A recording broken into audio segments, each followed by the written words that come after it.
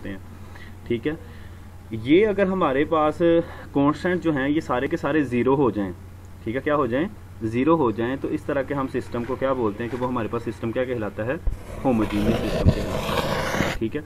कोई यहाँ पर बता सकता है कि जो होमोजीनियस सिस्टम होता है उसका कौन सा सोल्यूशन ऑलवेज एग्जिस्ट करता है? ये एमसीक्यू पूछा जाता है ऑलवेज कि हमारे पास अगर system of the linear question हो कौन सा कौन सा? प्रीवियस सोल्यूशन ट्रीवियल सोल्यूशन क्योंकि ट्रीवियल सोल्यूशन में जो ज़ीरो ज़ीरो होता है, वो ऑलवेज उसको क्या कर रहा होता है सेटिस्फाई कर रहा होता है। तो इसका मतलब है हमारे पास जो ये सिस्टम होता है, ये हमारे पास होमोजीनियस इसका लाजमी तौर पर जो जीरोस का सेट होता है, ये लाजमी उसका क्या होता है? सोल्यूशन होता है। अच्छा इसके अलावा अगर हमारे पास ये, अगर हमारे पास ज़ीरो नहीं होते नॉन ज़ीरो होते हैं तो इसको हम क्या बोलते हैं फिर? नॉन होमोजीनियस ठीक है? तो इसी तरह से अगर आप पीडीज़ को पढ़ते हैं या ओडीज़ को पढ़ते हैं, मैं आप, आपके सामने एक ओडी लिखता हूँ। वैसे थोड़ा सा हम टच देते हैं कि अगर इस तरह की मैं आपके पास, ये इसमें आप लोगों ने इंडिपेंडेंट वेरिएबल एक्स को लेना है, ठीक है? अगर मैं इस तरह की लिखता हूँ, ठीक है? तो मुझे बताएँ कि ये जो मैंने ओडी लिखी है, ये सेकंड ऑर्डर है।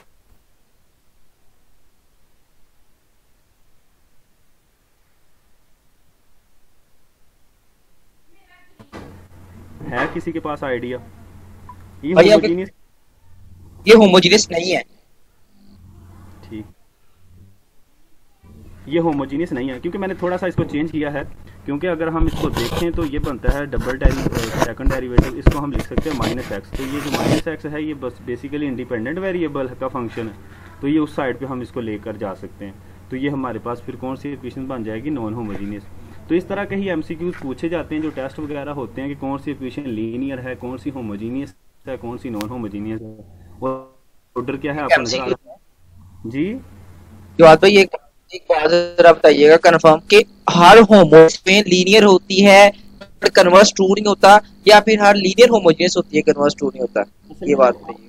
जब आप ओडीज की बात कर रहे होते हैं तो आप जब भी लीनियर को डिस्कस करते हैं तो आप सबसे पहले ये कहते हैं कि उसको होमोजीनियस होना चाहिए। सॉरी सॉरी सॉरी आपने क्या क्वेश्चन किया है? दोबारा रिपीट करना। मैंने कहा ये इस तरह है कि हर होमोजीनियस लीनियर होती है बट कन्वर्स ट्रू नहीं होता। लेकिन या फिर हर लीनियर होमोजीनियस होती है कन्वर्स ट्रू नहीं होता। किस तरह ठीक है स्टेटमेंट यार लीनियर का होमोजीनियस के साथ उस्मान कोई तल्लक नहीं है।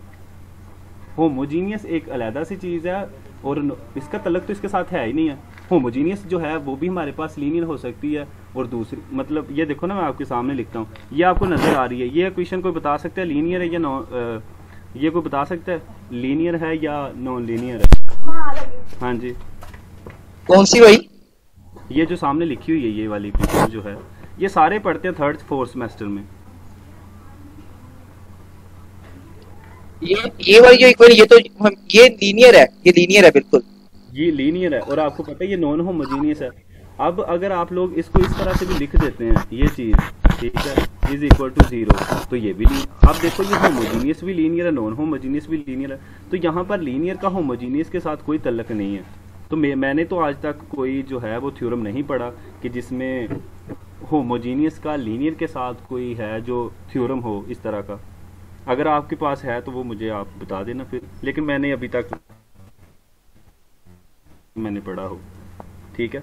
लेकिन मैंने ये पढ़ा है कि जो लीनियर इक्वेशन होती है हमेशा वन होती है। तो आप लोगों ने भी होगा सब ठीक है। एक सेकंड रुकें।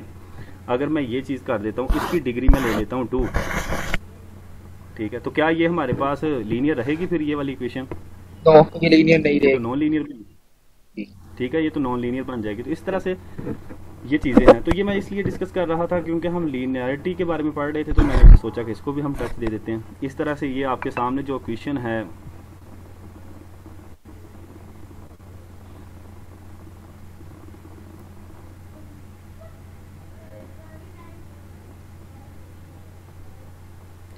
अच्छा उसके बाद ये सिस्टम्स आ जाते हैं। सिस्टम्स के बाद अच्छा ये चीज़ को हम डिस्कस करते हैं, ये वाली चीज़ को। कि हमारे पास जो system of the linear question होते हैं, वो दो तरह के होते हैं। इस, ये एम बेसिकली पूछे जाते हैं, ठीक है? कि या तो वो हमारे पास कंसिस्टेंट हो सकते हैं, या हमारे पास वो क्या हो सकते हैं? इनकन्सिस्टेंट हो सकते हैं। अब जो सिस्टम हमारे पास कंसिस्टेंट होता है, उसका मतलब होता है कि वो वो सिस्टम जो है, वो सोल्यूशन रखता है। अब ये हमें इस चीज़ का नहीं पता कि वो सोल्यूशन यूनिक सोल्यूशन रखता है या इनफाइनाइट नंबर ऑफ़ उसके सोल्यूशन हो सकते हैं, ठीक है? और आपको पता है सिस्टम इनकन्सिस्टेंट होता है, उसका सोल्यूशन नहीं होता। नो no सोल्यूशन उसका कोई सोल्यूशन नहीं होता।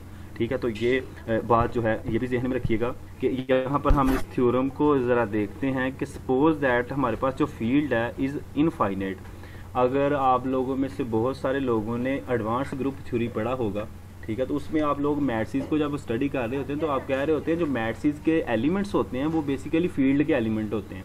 ठीक है, अगर सबने एडवांस ग्रुप थ्योरी पढ़ी है टू तो ठीक है? तो बेसिकली जो मैथसीज के एलिमेंट होते हैं, वो बेसिकली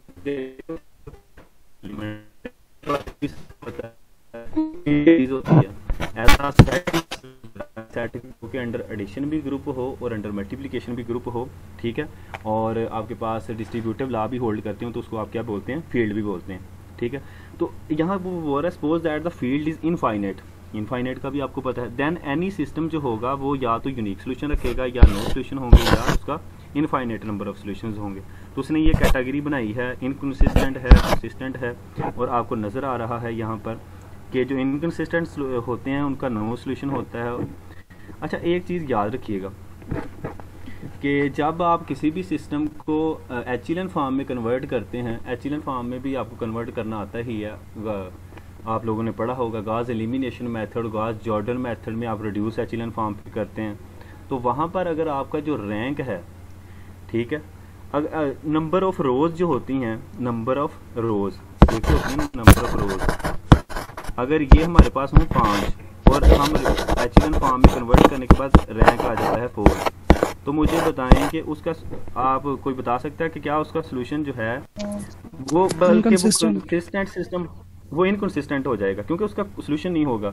अब जब वो ज़ीरो वाली लाइन बन जाती है तो उससे हम ये भी इंप्लाइज कर सकते हैं कि उस जो सिस्टम का डिटर्मिनेंट है वो भी क्या है? अगर वो स्केयर है तो वो क्या होगा? ज़ीरो होगा।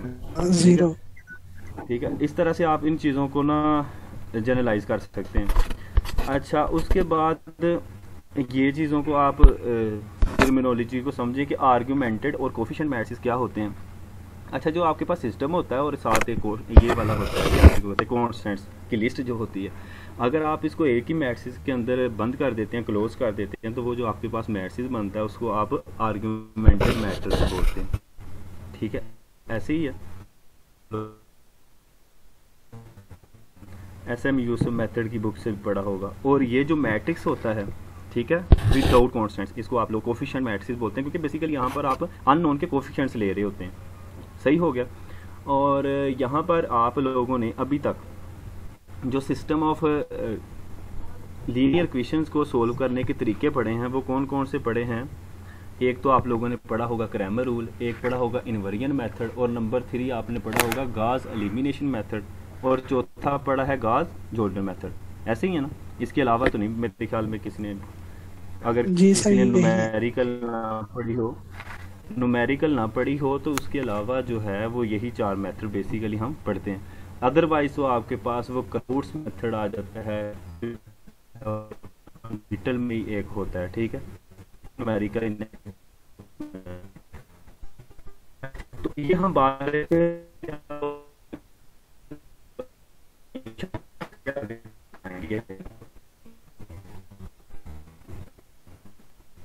आवाज़ बहुत कट रही है।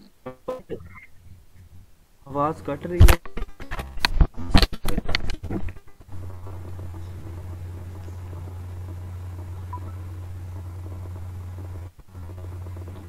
अच्छा आगे आता है डी जनरेट लीनियर इक्वेशंस ठीक है डी जनरेट लीनियर इक्वेशंस कौन सी होती है हमारे पास? कि ऐसी इक्वेशंस हमारे पास जिसमें जो कोफिशिएंट होते हैं लीनियर इक्वेशंस के, वो सारे के सारे क्या होते हैं? ज़ीरोज़ होते हैं।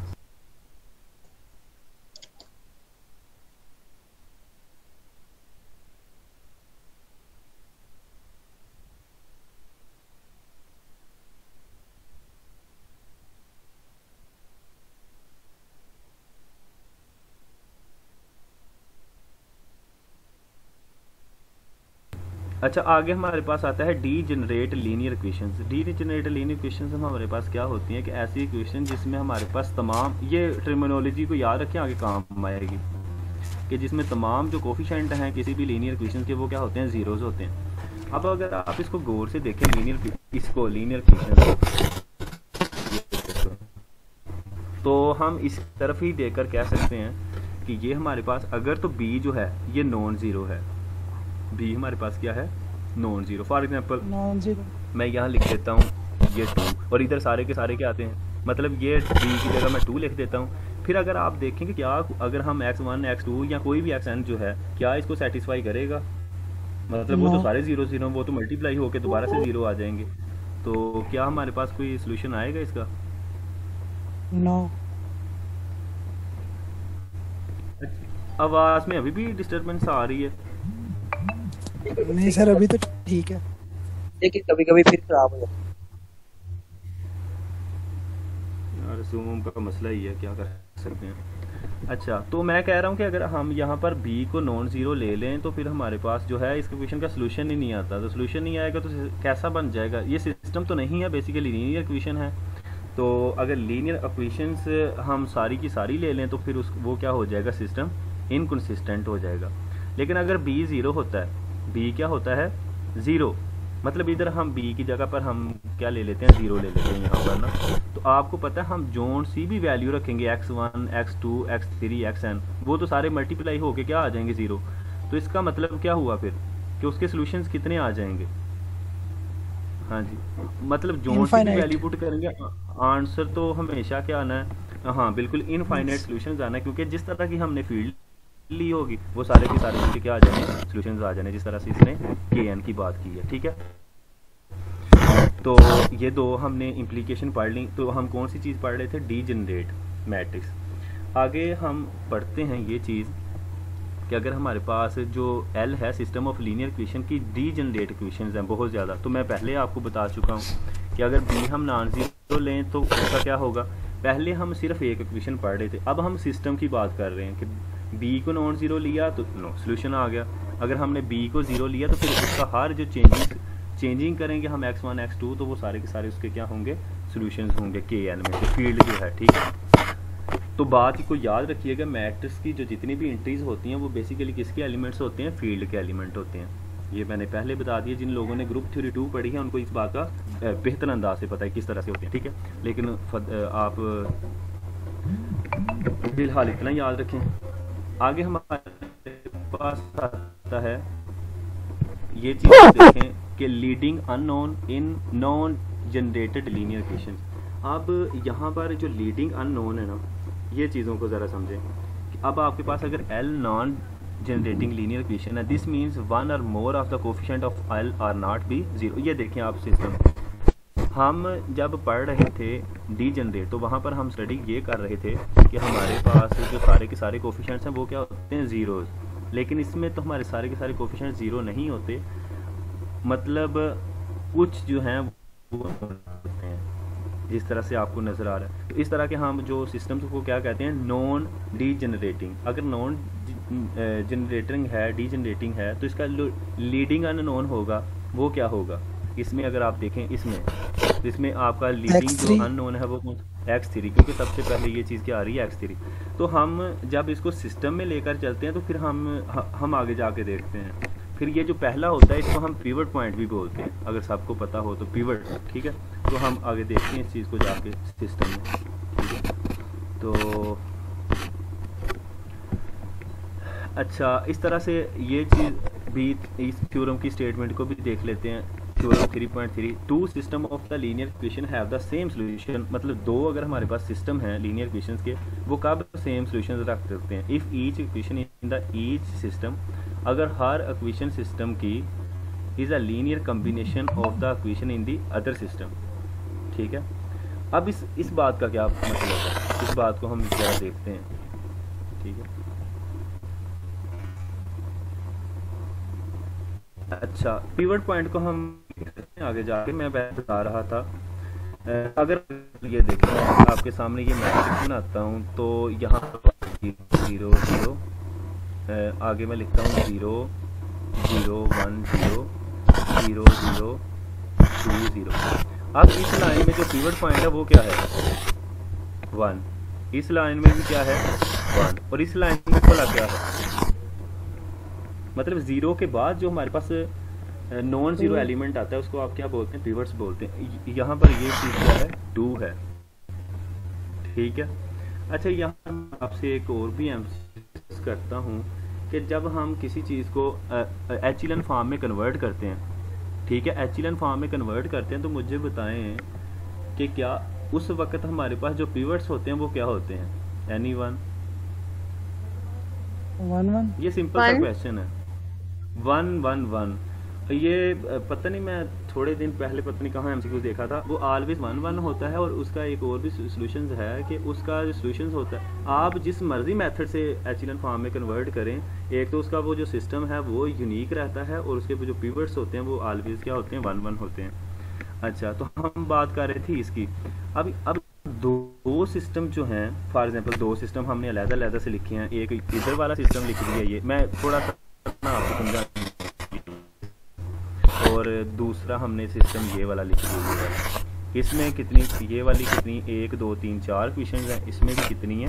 चार। एक, दो, तीन और चार। जस्ट समझाने के लिए थोड़ा हम कहते हैं कि दोनों का सोल्यूशन सेम कब होगा कि अगर हम यहाँ से एक क्वेश्चन उठाएँ, ठीक है? वो हमारे पास बेसिकली जो इधर वाला जो हमारे पास सॉरी लीनियर क्वेश्चन है, वो इन चारों के लीनियर कॉम्बिनेशन में लिखी जा सके। अब चारों के लीनियर कॉम्बिनेशन में लिखने से मुराद क्या है, ये देखिएगा ज़रा। मैं लिखूं ये कांस्टेंट है और ये वन से लिखने से मुराद है कि इसकी equation plus B two plus C three plus equal to कोई बताएगा ये किसके बराबर होनी चाहिए? हाँ जी। ये जो लीनियर कॉम्बिनेशन है, ये किसके बराबर होना चाहिए? ज़ीरो ज़ीरो ज़ीरो के बराबर? ये तो इस इस वाले के बराबर नहीं होना चाहिए वन के बराबर। कि हम अगर इस इक्वेशंस को इसके सारे के लीनियर कॉम्बिनेशन में लिखें तो फिर इन दोनों का सोल्यूशन क्या होगा? सेम होगा। बात समझ आ रही है सबको? जी। सर वॉइस नहीं आ रही क्लियर सिस्टम में से हर इक्वेशन को अगले के लीनियर सिस्टम में लिखना हाँ जी बिल्कुल।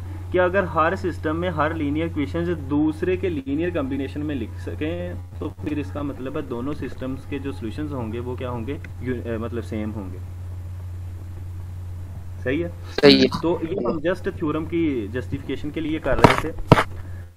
खैर आगे आता है एलिमेंट्री ऑपरेशन ये भी आप लोगों ने पहले पढ़े होंगे एलिमेंट्री ऑपरेशन जो हैं ये क्या क्या होते हैं?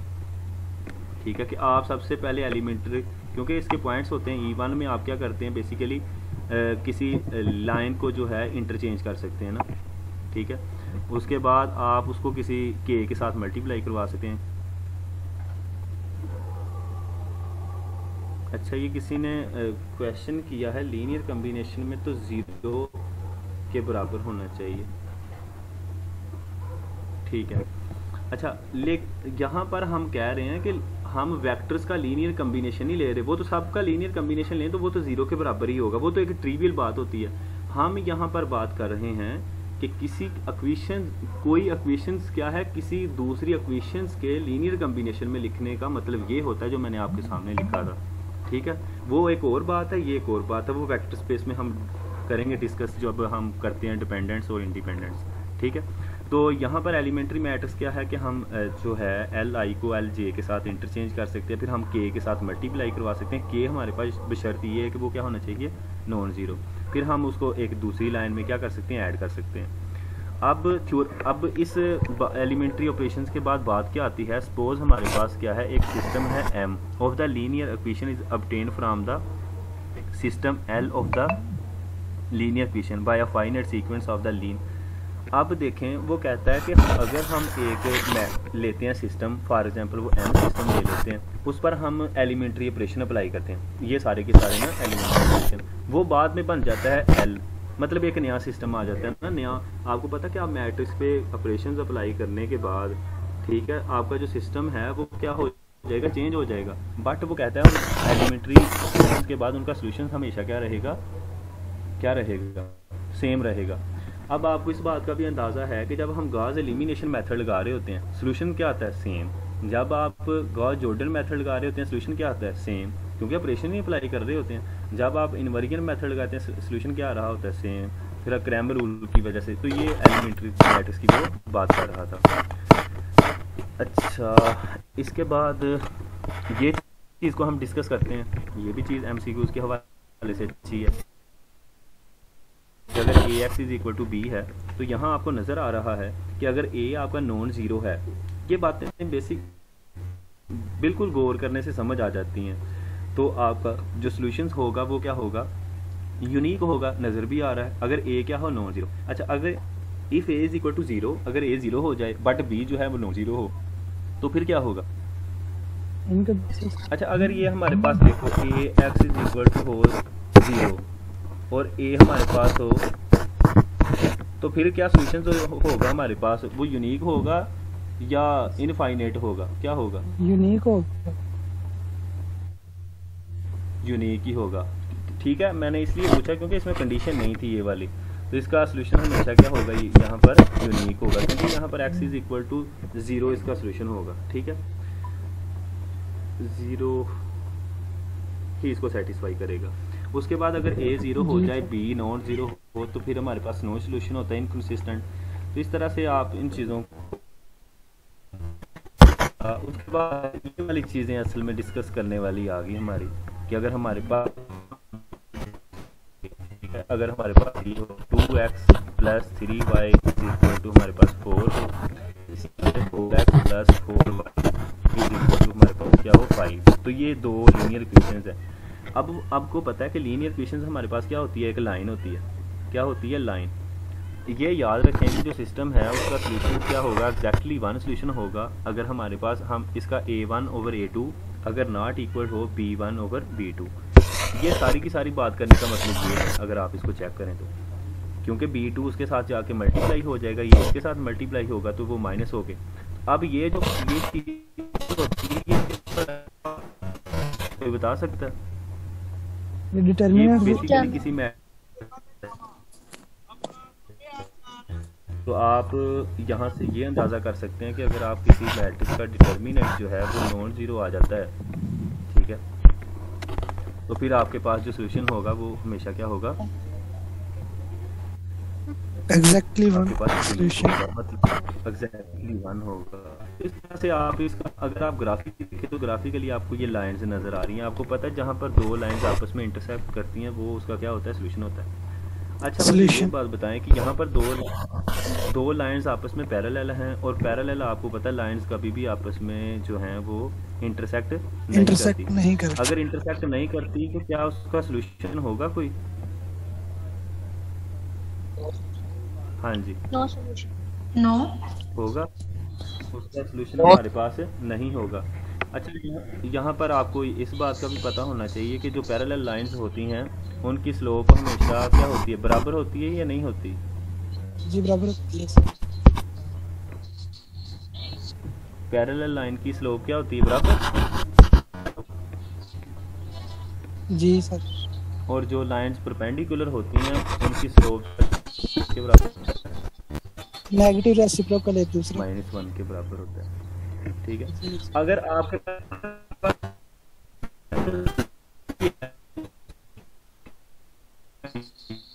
सर आवाज़ में बहुत डिस्टॉर्शन आ रही है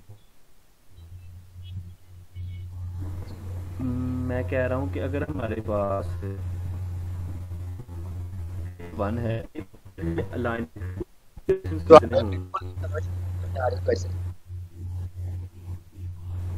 आवाज़ ज़्यादा एक एक सेकंड रुक।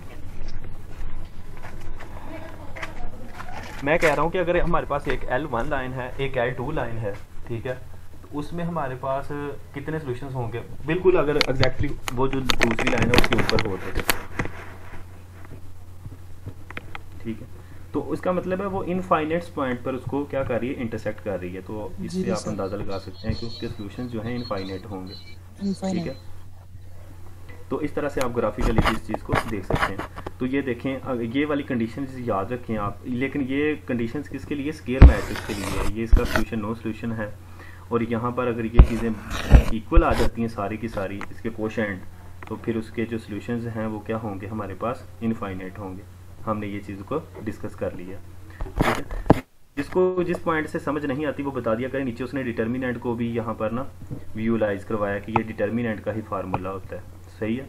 तो हम डिटर्मिनेंट का उसने बताया भी है कि हम डिटर्मिनेंट को जो है ये यहाँ पर ये चीज़ को भी स्टडी कर लेते हैं। उसने बताया है कि डिटर्मिनेंट को हम चैप्टर नंबर एट में पढ़ेंगे।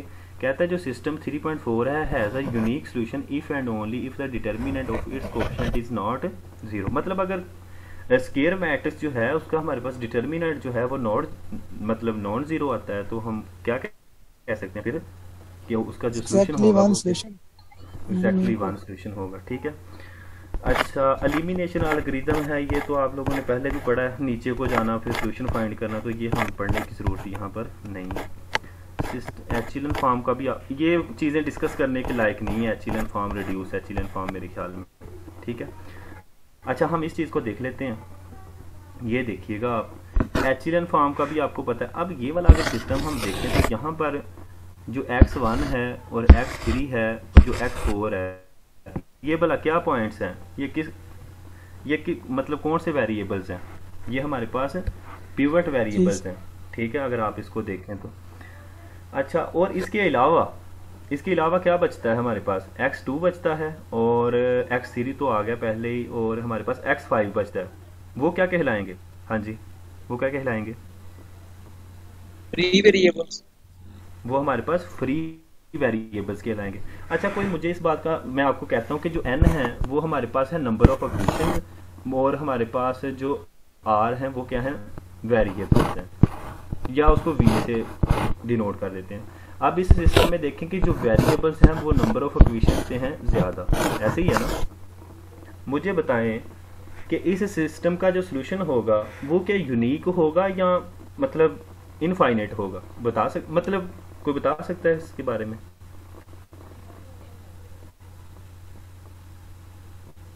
एनी वन इनफाइनाइट होगा हाँ जी, इस सिस्टम का जो सोल्यूशन है, वो हमारे पास क्या होगा? इनफाइनाइट होगा इस वजह से क्योंकि यहाँ पर हम किसको यूज़ कर रहे हैं? इस इस चीज़ को यूज़ कर रहे हैं फ्री वेरिएबल्स को। क्योंकि यहाँ पर हमारे पास ये चीज़ें फ्री वेरिएबल्स हैं। फ्री वेरिएबल्स के तौर पर ले सकते हैं और फ्री वेरिएबल्स के तौर पर जब हम लिखते हैं तो फिर अपनी मर्ज़ी कर सकते हैं। मर्ज़ी करने से मेरा आता है उसका सोल्यूशन ये भी हो सकता है, ये भी हो सकता है, ये भी हो सकता है, वो भी हो सकता है। समझ आ रही है ना बात की? आप यहाँ पर फ्री वेरिएबल्स कौन कौन से ले रहे हैं? कौन कौन से ले रहे हैं बोला एक ले रहे हैं एक्स टू को और एक ले रहे हैं एक्स फाइव को। ठीक है तो आप यहाँ से ये ये देखें ना three x four is equal to क्या आ जाएगा? नाइन एक्स फाइव क्योंकि ये तो एक्स फाइव तो सोल्यूशन नहीं है। अब हम एक्स फाइव को क्या, ये फ्री है तो हम इसको चेंज कर सकते हैं। मैं कहता हूँ जी, मेरा एक्स फाइव क्या है? ए है। अपनी मर्ज़ी मैंने चेंज किया ना। तो ये क्या बन जाएगा? X four is equal to क्या बन जाएगा? नाइन ए ओवर थ्री ये एक सोल्यूशन है। समझ आ रही है बात की? और यहाँ पर जो हमारे पास क्या था दूसरा? एक्स टू एक्स टू को मैं कहता हूँ कि वो मेरा बी है। अपनी मर्ज़ी की है ना? इस तरह से हम जो फ्री वेरिएबल्स होते हैं, उनको अपनी मर्ज़ी से क्या कर सकते हैं? इक्वेशंस में चेंज कर सकते हैं। समझ आ रही है बात की? इस तरह से हमारे पास फिर बेशुमार सॉल्यूशंस जो हैं, वो बन सकते हैं। समझ आ रही बात की? तो अगर चले एक यहाँ पर एक और क्वेश्चन अगर ये सारे अगर हम एचिलन फॉर्म में कन्वर्ट करें तो ये सारी की सारी रो जो है ये ज़ीरो बन जाए. तो फिर ये सिस्टम जो है ये कौन सा होगा? इसके कितने सोल्यूशन होंगे? एनी वन नो सोल्यूशन हाँ इसका सोल्यूशन ही नहीं होगा. तो इस तरह से आप ना जब एचिलन फॉर्म में कन्वर्ट करते हैं तो उसके आप एक तो पिवट्स चेक कर लिया करें और दूसरा फ्री वेरिएबल चेक कर लिया करें. समझ आ रही है? अच्छा. ये तो हमारा क्लियर हो गया। अगर किसी को समझ नहीं लगी इन पॉइंट्स की तो वो बता दें हम इस चीज़ को चेक कर लेते हैं दोबारा से। ठीक है? लेकिन समझ आएगी होगी। क्लियर है। ठीक है? तो ये यहाँ पर ये चीज़ें लिखी भी हुई हैं। बाद में थ्योरम्स में मैंने आपको प्रैक्टिकली वहाँ पर लिख कर भी बता दिया कि अगर बराबर हैं तो फिर हमारे पास जो है वो यूनिक सोल्यूशंस हैं। अगर एन जो है एन यहाँ पर क्या लिया गया है? एन हमारे पास नंबर ऑफ़ जो है वेरिएबल्स लिए गए हैं और आर जो है वो अन सॉरी एन जो है वो अननोन्स हैं आई थिंक सो और आर जो है वो हमारे पास नंबर ऑफ़ इक्वेशंस हैं। इस तरह से फिर उसने बताया कि एन माइनस आर जो होंगे वो हमारे पास क्या होंगे? फ्री वेरिएबल्स ये एक फार्मूला भी है। ठीक है, इस तरह। अच्छा एक और चीज़ आपके ये जो ना एम वगैरह में पूछी जाती है कि जो हमारे पास पैरा पैरामीट्रिक फॉर्म्स होती हैं, वो कौन सी होती हैं? ऐसी मतलब पैरामीट्रिक फॉर्म होती हैं जिसमें हम फ्री वेरिएबल्स को यूज़ कर रहे होते हैं। ये देखिए, हम यहाँ पर वी वेरिएबल्स को यूज़ कर रहे हैं। तो इस तरह की जो फॉर्म्स होती हैं, उनको क्या बोलते हैं? पैरामीट्रिक फॉर्म बोलते हैं। ठीक है फ्री वेरिएबल फॉर्म इस तरह से आप इसको गाजियन एलिमिनेशन मेथड ये भी सबको पता है कि जब हम उसको एचिनल फॉर्म में कन्वर्ट करते हैं। कुछ चीज़ों को मैं यहाँ पर डिस्कस नहीं करता क्योंकि आप लोगों को इनका पता है, क्योंकि एचिनल फॉर्म का तो सबको पता है एफ़ में भी पढ़ते हैं। ठीक है। तो एचिलन ये रो क्लिनिकल फॉर्म रो ठीक है। ये चीज़ें हैं। एलिमेंट्री रो ऑपरेशन ये भी आप ऑपरेशन को चेक अच्छा रैंक क्या होता है? रैंक का भी आपको पता है, ठीक है? कि एवरी मैट्रिक्स जो होता है, ये यहाँ से। The rank of the matrix जो होता है, वो क्या होता है? Number of pivots in echelon form तो ये आप लोगों ने पहली दफ़ा ये डेफिनेशन अगर लीनियर अलजबरा यहाँ से पढ़ रहे हैं तो ये नए अंदाज से पढ़ी होगी डेफिनेशन कि। आप जब एचिलन फॉर्म में किसी सिस्टम को कन्वर्ट करते हैं तो उसके जितने पीवर्ड्स होते हैं, वो उसका क्या होता है? रैंक होता है। अगर आपको ये बात समझ आई है मैंने पहले भी बताया था ये मैं अगर आपके सामने लिखूँ कि one zero zero zero one zero two zero ठीक है वन टू ज़ीरो ज़ीरो तो इसका जो हमारे पास पीवर्ड्स हैं वो कितने हैं? तीन है। ठीक है तो इसका रैंक भी क्या होगा? थ्री होगा। और मैंने पहले बताया था ये इतने सारी ये चीज़ें सारी की सारी जो है बैकवर्ड एलिमिनेशन जो है गो जोड़ बन है अच्छा आगे हमारे पास सिर्फ़ ना 10 मिनट के लिए इस मीटिंग का टाइम ख़त्म हो गया। सिर्फ़ 10 मिनट के लिए ना इस मीटिंग को दोबारा से ज्वाइन करें। सिर्फ़ 10 मिनट के लिए। फिर हम इसको ख़त्म करते हैं। चैप्टर को सिर्फ़ थोड़ा सा रह गया। 10 मिनट में ख़त्म हो जाएगा। तो मैं मीटिंग को ख़त्म करता हूँ। दोबारा से ज्वाइन करें। ये ये चैप्टर ख़त्म कर लेते हैं हम पाँच दस मिनट में।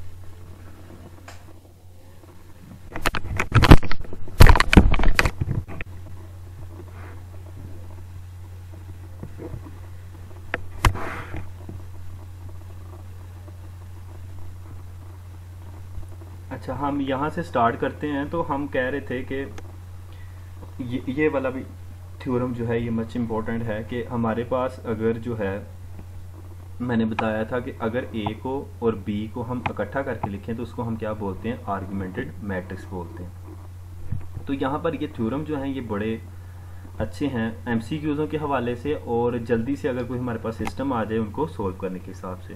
तो वो कहता है सिस्टम का जो सोल्यूशन है सिस्टम जो सोल्यूशन रखेगा, अगर वो रैंक सिस्टम का जो है, वो उस आर्ग्यूमेंटेड हम एक बात को याद रखिएगा।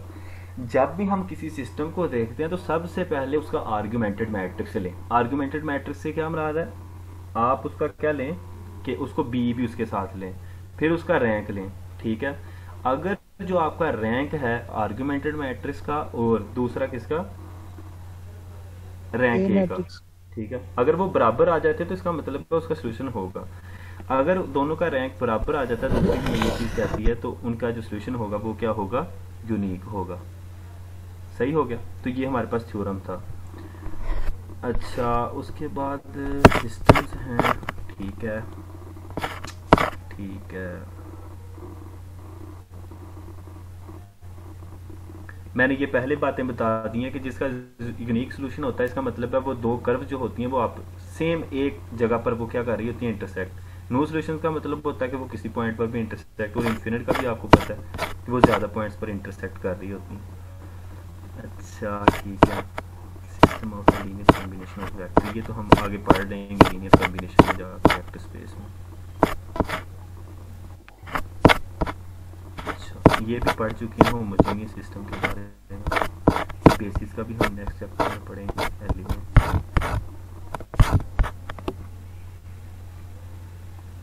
अच्छा इसके बाद आते हैं हमारे पास elementary matrices let E denote the elementary row operation E क्या है? ई e हमारा एलिमेंट्री ऑपरेशन जो हमने पढ़े हैं रो ऑपरेशन पढ़े हैं, उसको डिनोट कर रहा है। लेट ई ऑफ़ ए जो डिनोट कर रहा है result of the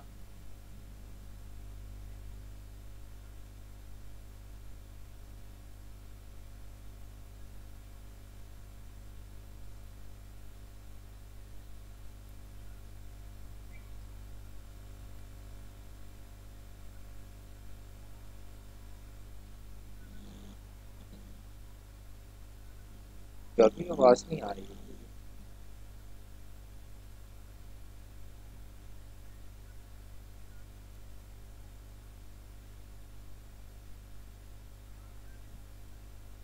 max is obtained by applying E to the identity matrix I.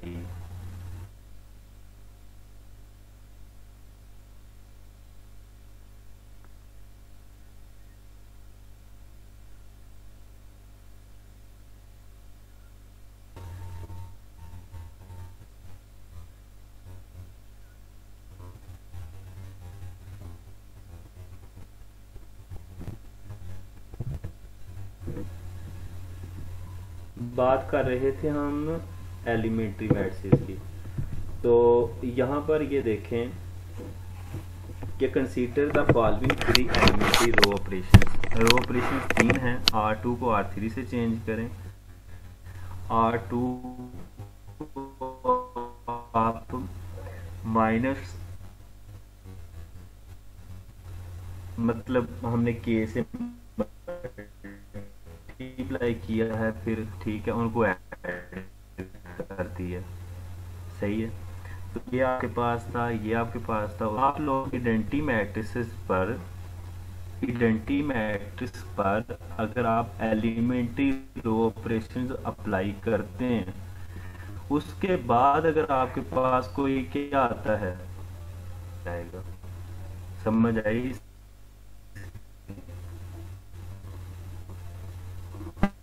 सही।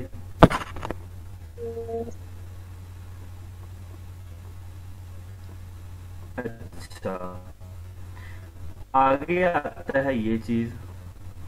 अगर आपके पास जो है, ये देखें। Let E be L matrix पे अप्लाई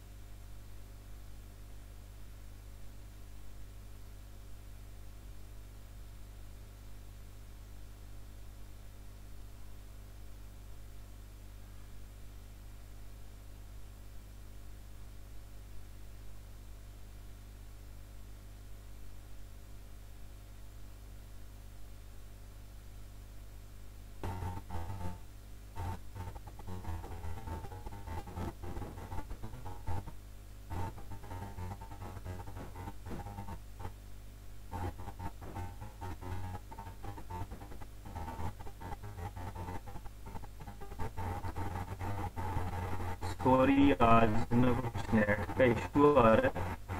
तो हम ये बात कर रहे थे कि अगर हम किसी मैट्रिक्स के ऊपर एलिमेंट्री ऑपरेशंस अप्लाई करते हैं, उसके बाद अगर ई को एक ई क्या है हमारा, हमारे पास एलिमेंट्री जो ऑपरेशन है, उसके बाद अप्लाई करने के बाद जो हमारे पास ई आता है, उसको ए के साथ मल्टीप्लाई करता है, उसके बाद ये तो एप्लीकेशन ये ऑपरेशन की डेफिनेशन है। टू डी कंपोजिशन से क्या मुराद है? अपर जो आपके पास सर मैसेज होते हैं उसमें जब आप कन्वर्ट हैं ठीक है? ये आप लोग जो लोग न्यूमेरिकल पढ़े हैं उनको अच्छे अंदाजे से पता ए एक्स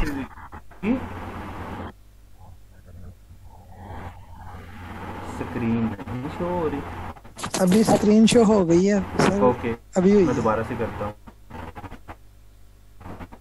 ये चेक कीजिएगा।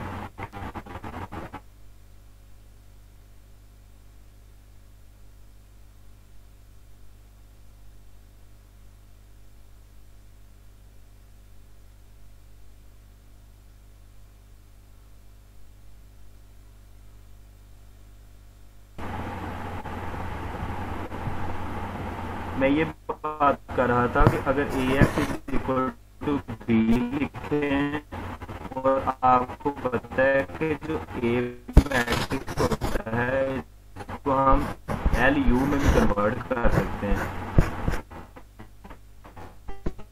ठीक है? आप एल क्या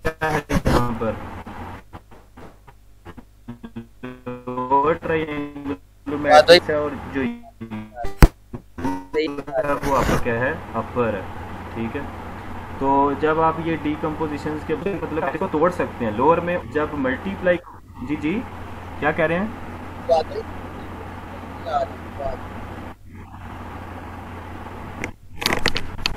आवाज़ ठीक आ रही। अच्छा मैं कह रहा हूँ कि आप किसी भी मैट्रिक्स को जो है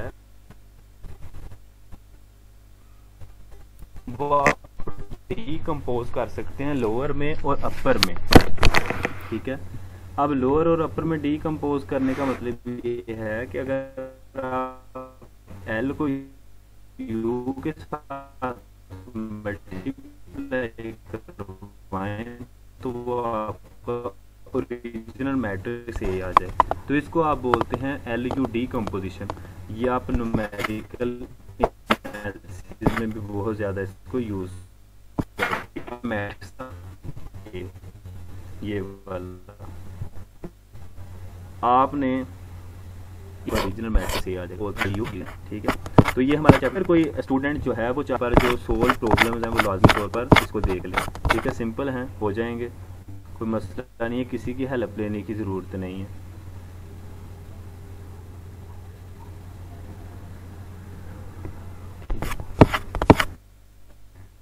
जो मैं कल बता रहा था लीनियर अलजबरा क्या है? मैं कह रहा था लीनियर अलजबरा में हम वैक्टर स्पेसिस को स्टडी करते हैं और वैक्टर स्पेसिस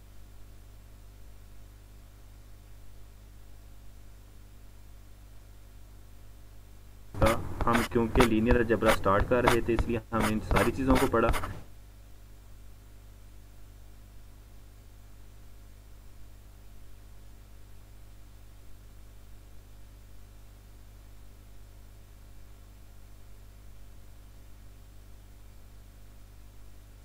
कल हम इंशाल्लाह वेक्टर स्पेसिस को स्टडी कर स्टडी करने से पहले आपको इस बातों का आपको पता होना चाहिए वेक्टर स्पेसिस पढ़ने के लिए। क्योंकि वेक्टर स्पेसिस में आप बेसिकली दो सेट ले रहे होते हैं। एक आप सेट ले रहे होते हैं और एक साथ उसके फ़ील्ड ले रहे होते हैं। कल हम इंशाल्लाह इस चीज़ को पढ़ेंगे। फिर हम इनसे इनसे ही हम अगले चैप्टरों पे जाएँगे, ठीक है? जो इनर प्रोडक्ट स्पेसिस वगैरह है। किसी का कोई क्वेश्चन है आज के रिलेटेड तो वो मुझे बता दे। और किसी ने रिकॉर्डिंग की है? एनीवन किसी स्टूडेंट ने? नहीं भाई। Okay okay. अच्छा चलें रिकॉर्डिंग कुछ लोग कहते हैं हमें रिकॉर्डिंग चाहिए तो फिर मेरे पास तो नहीं इसका हल हो सका आज। तो फिर उसके लिए तो माजरत है। लेकिन खैर जो लेते हैं क्लास फिर उनका अपना शौक है। जवाब भाई उसके लिए ये है कि आप किसी को बना देना वो क्या कहते हैं होस्ट तो वो रिकॉर्डिंग कर ले, जिनके पास लैपटॉप है। हाँ तो मैंने पहले सबसे स्टार्ट में यही बोला था कि जिसके पास लैपटॉप है, वो आज के लिए रिकॉर्डिंग कर ले, लेकिन कल से हम इसका आज मैंने बहुत कोशिश की, लेकिन नहीं हो सका मेरे से तो इसका मैंने ये सोचा था कि आज ना किसी को कह दूँगा, इसलिए मैंने ग्रुप में बोला था सोल्व प्रो मैंने कहा, आज चलो कोई कर ही लेगा, इतने लोग होते हैं।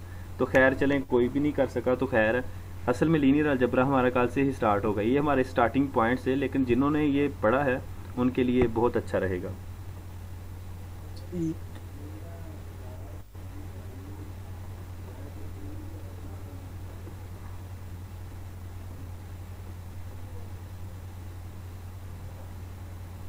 अच्छा ये किसी ने क्वेश्चन पूछा है कि रैंक हम जो है वो शॉर्टकट फॉर्म क्या है रैंक की फाइंड करने के लिए? तो इसकी शॉर्टकट फॉर्म एचिलन फॉर्म के अलावा तो कोई नहीं, आपको एचिलन फॉर्म में ही उसको मैट्रिक्स को कन्वर्ट करना पड़ता है, फिर ही आप इसको फाइंड कर सकते हैं। हाँ अगर दूसरी हालत में देखा जाए तो किसी कैलकुलेटर वगैरह से ना आप इसको देख सकते हैं। अचानक से एक मिनट में किस मैट्रिक्स का रैंक क्या है। वो आपको इंटरनेट से बेशुमार रैंक कैलकुलेटर मिलेंगे। ठीक है, लेकिन इसका मैथमेटिकली वे यही है। इसके अलावा कोई नहीं है। सही है? अगर और किसी का कोई क्वेश्चन है इस आज के रिलेटेड तो वो बता दे। अदरवाइज़ फिर हम इसको ख़त्म करते हैं आज की मीटिंग को। ठीक है। अच्छा एक और चीज़ मैंने आप लोगों से डिस्कस करनी थी। जब आप लोग लीनियर जब पढ़ रहे होते हैं तो आप एक ये वाली बुक पढ़ा करें साथ। और लाजमी तौर पर ना एस एम यूसुफ की ना, क्योंकि वो पाकिस्तानी बुक है, और जब भी टेस्ट वगैरह को बनते हैं तो पाकिस्तानी बुक को भी वो सामने रख कर बना लेते हैं टेस्ट तो आपने एस एम यूसुफ का चैप्टर नंबर थ्री फोर वो हमने पढ़ लिया। सॉरी चैप्टर नंबर कौन सा है? थ्री हाँ चैप्टर नंबर थ्री हमने पढ़ लिया है। चैप्टर नंबर फोर जो है फोर फाइव ये हम फोर भी पढ़ लिया है फाइव हम पढ़ेंगे नेक्स्ट जाके डिटर्मिनेंट और जो सिक्स है वो वेक्टर स्पेसिस का वो भी वहाँ से ज़रूर देखिएगा। आप जब इस बुक को पढ़ रहे होते हैं एस एम यूसुफ को और इस बुक को। ठीक है। ठीक है? चलें सही है इंशाल्लाह फिर कल हम मिलते हैं। टाइमिंग जो है मीटिंग की वो सेम हुआ करेगी। कोई ये मतलब पूछने वाली बात नहीं है कि कब मीटिंग होगी, कब नहीं होगी। जब नहीं होगी तो मैं मैसेज कर दूँगा अदरवाइज़ साढ़े नौ इसका टाइम है मीटिंग का। ओके जी, अल्लाह हाफिज़। अल्लाह हाफिज़।